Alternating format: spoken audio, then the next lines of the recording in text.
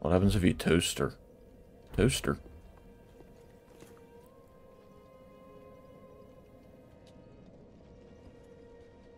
Yay. She's toot.